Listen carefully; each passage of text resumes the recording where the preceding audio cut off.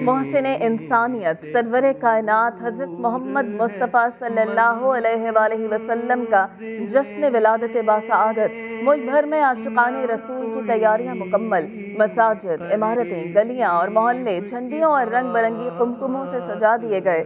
हर तरफ़ खुशी का समा, कराची रंगोनूर में रहा गया। रात गए तक क्या बच्चे, क्या बड़े, सब रोशनियाँ देखने सड़कों पर निकल आए। सखर में मशल बरदार रैली सिंध भर में सिक्योरिटी हाई अलर्ट डबल सवारी पर पाबंदियाँ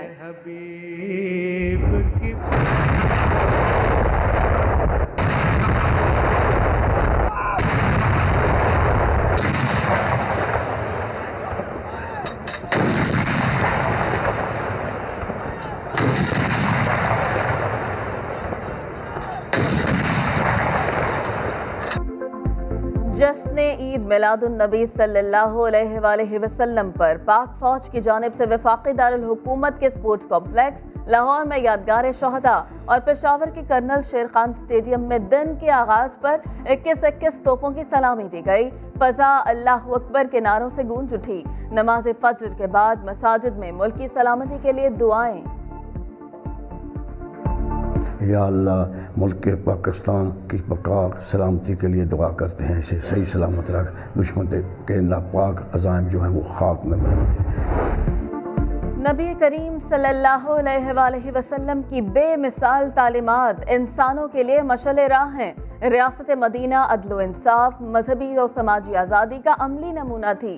वज़ीर अजम इमरान खान का ईद मिलादुलनबी के मौके पर पैगाम कहा, मगरब ने रियासत मदीना से रहनुमाई लेकर इंसानी फलाह के लिए काम किया।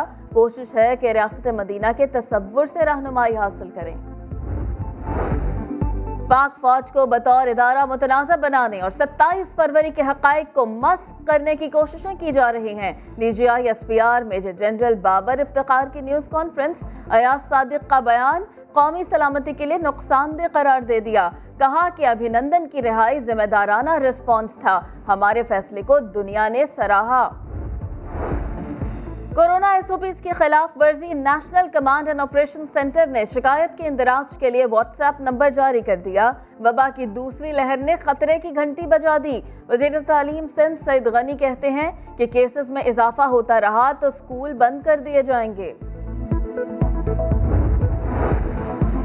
ओकाड़ा में पुलिस का भरपूर एक्शन। चोरी और डकैती की वारदातों में मतलूब पाँच मुलजमान पकड़े गए। मुलजमान का एतराफ जुर्म भारी तादाद में असलहा और मसलूका माल बरामद कर लिया।